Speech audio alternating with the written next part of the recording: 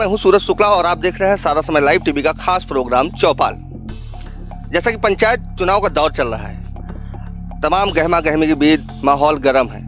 Voter भी इस फिराक में है कि पाँच सालों में क्या विकास हुए हैं। विकास के मुद्दे पर वोट करने के मूड में है।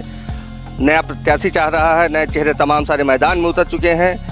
ऐसे में बड़ा सवाल है कि सत्ता हमेशा सत्ता का विरोध रहा है। ऐसे में बड़ा सवाल है कि क्या सत्ता की वापसी पुनः होती है या फिर कोई नया चेहरा चुना जाता है? इसी सब मुद्दों को लेके हम पहुँचे हैं ऊँचा हाथ देहात ग्राम पंचायत में, जहाँ पे हम लोगों के बीच एक चौपाल कार्यक्रम लगा रहे हैं और लोगों से जानेंगे कि वास्तव में विकास हुआ है या नहीं और लोगों के मन में क्या है। पहुँच चुके हैं पिपरा गाँव में। वहाँ एक हमारे दादा मिले हैं। दादा से हम पूछेंगे गाँव में क्या विकास हुआ। दादा, सबसे पहले आपका नाम जानना चाहेंगे। तो राम नवाज़ यादव। राम निवास यादव। दादा पाँच सालों में क्या विकास हुआ गाँव? को जानकारी है आपको बहुत कुछ हुआ है हमारे यहाँ तो। जैसे कुछ कुछ बता पाएँगे? अरे नाली खरिंजा या, या, या नलकूप तमाम ऐसे काम हुए। हैं।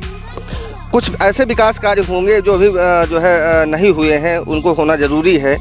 हाँ उनका होना ज़रूरी। है जैसे ऐसे कौन से काम है?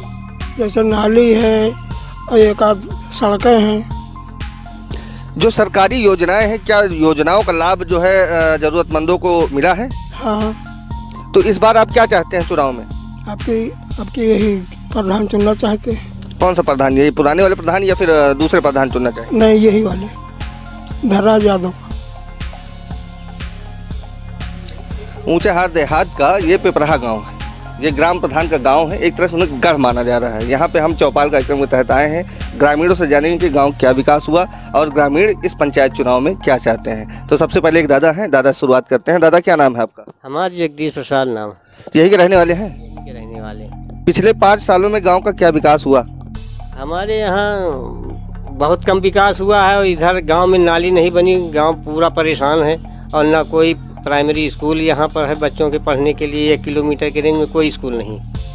यानी आपका कहने मतलब जो मूलभूत मतलब सुविधाएँ होनी चाहिए गाँव में छोटे बच्चों के पढ़ाई के लिए जल निकासी के लिए नाली के लिए है ना? ये ये सारी मूलभूत सुविधाएँ यहाँ पे नहीं। नहीं। तो पंचायत चुनाव का दौर चल रहा है यही ऐसा एक ऐसा टाइम आता है जब मतदाता अपने मताधिकार का खुले मन से प्रयोग करता है। तो इस चुनाव में आप क्या चाहते हैं? बदलाव चाहते हैं या फिर जैसे चल रहा है वैसे चलता रहे? नहीं तो अब की बदलाव पूरी ग्राम सभा चाह रही है कि बदलाव होए अगले दादा हैं हमारे उनसे हम जोड़ेंगे। कैमरा पर्सन कहेंगे जरा दिखाएँ जरा। दादा क्या नाम है? अशोक कुमार भैया। यहीं रहने वाले हैं? दूलीपुर के रहने वाले हाँ। तो आपके दूलीपुर में ऊँचा देहात का ही गाँव है ना ये? दूलीपुर में क्या विकास हुआ? दूलीपुर में सर कुछ नहीं विकास हुआ। नाली वाली खरिंजा उरिंजा रास्ता कोई सही है नहीं। नहीं इसी तरह की समस्या है। अधिकतर तो नाली खरिंजा के बगल में कोई नहीं है। पानी की बड़ी दिक्कत होती है। अगर पानी नापदान से निकलता है तो हम लोग बाल्टी से बाहर गड़ा गड्ढा खोद के उसको बाहर बाहर और सफ़ाई कर्मी भी समय से नहीं पहुँचते। वहाँ पानी वानी हम लोग बाहर बाल्टी से निकाल के बाहर चुके हैं बता चुके हैं। और अब आगे हैं कमल जी। इनसे हम जानेंगे गाँव क्या विकास हुआ। कमल जी बताएँ।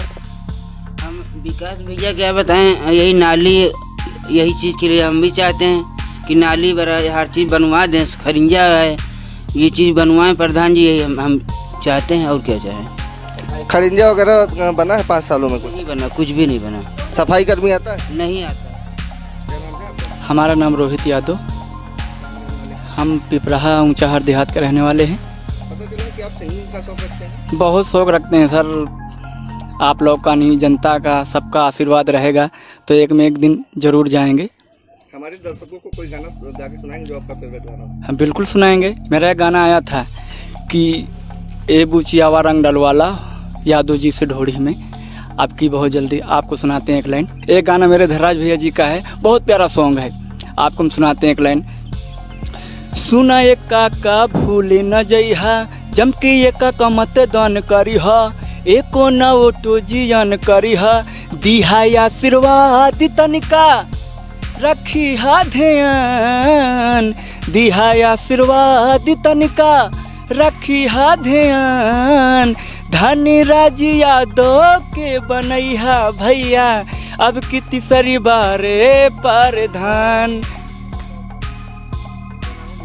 वीरेंद्र कुमार यादव, पिपराहा, ऊँचा हर देहात। पिछले पाँच सालों में का क्या विकास जानकारी है जी जी जी। हमारे यहाँ ऊँचे हर देहात में बहुत सारे काम हुए। जैसे रोड बनवाई गई, कम से कम 36 से 40 रोडें और दो दो पानी टंकियाँ लगी हुई हैं। प्रति घरों में कम से कम सबके घरों में पेयजल व्यवस्था उपलब्ध है पानी टंकियों द्वारा। और कम से कम पिछले पंचवर्षीय में जो हमारे पास थे, डेढ़ सौ नल आज की डेट में वो हमारे पास हैं, तीन सौ पचहत्तर नल।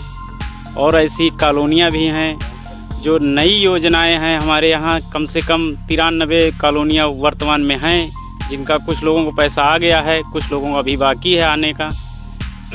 और उसके बाद बहुत ऐसी सारी योजनाएँ हैं, जो श्रम विभाग की योजनाएँ सरकार की हैं, उसमें 1400 रजिस्ट्रेशन प्रधान द्वारा कराए गए जिनमें से बारह सौ लोगों का पैसा भी तीन तीन हज़ार स्वास्थ्य का आया, और इन्होंने 101 साइकिल का वितरण भी कराया, जिसमें कुछ साइकिलों का भी बाकी है। आचार संहिता लग जाने की वजह से नहीं मिल पाई हैं। उनको विभाग द्वारा इसके बाद दिया जाएगा, प्रधान द्वारा।